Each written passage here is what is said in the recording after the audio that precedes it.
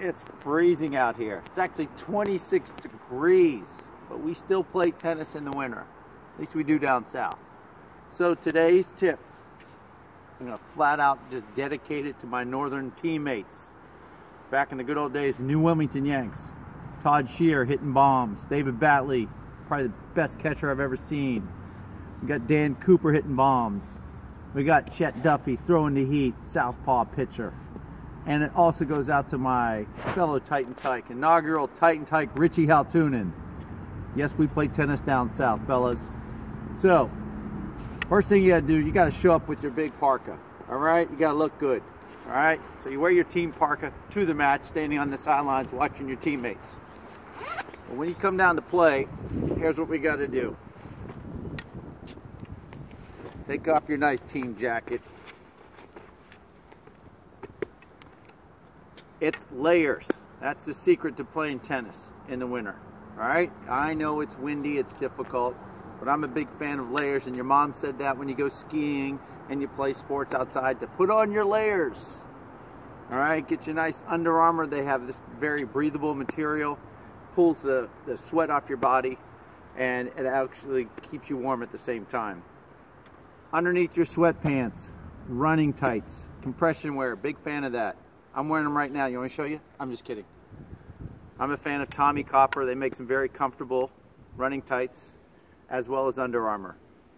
Now, your hands get really cold out here when you're playing tennis. So I've got two types of gloves. These are some nice Under Armours. They're kind of thick. All right, they will keep you plenty warm. However, it might not be good to hold the grip.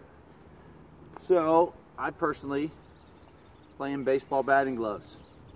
They're thin enough to where you can still feel the grips, but also keep you warm at the same time. So, speaking of match play, last week I talked to you about the serve and the high percentage tennis that you need to play. Today, before we even start the match, and you're playing doubles, you got to figure out who is going to serve. Let's say that my partner has got a great serve, and my serve's kind of weak and we win the toss and my partner goes, we'll serve. My partner serves, the opponent serves, then I serve.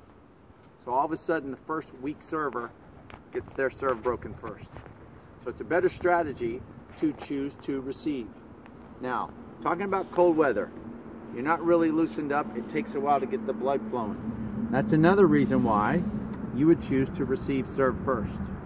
Okay? One other element is the sun. What if you have a problem looking into the sun and you're the best server and you want to serve first? You might choose to what? Let them serve first.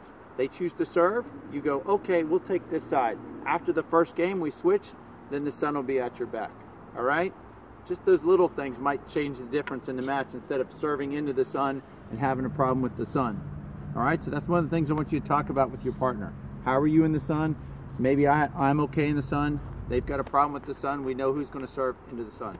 All right? I better hurry up and put my gear back on because it's freezing out here. All right? Have a great day.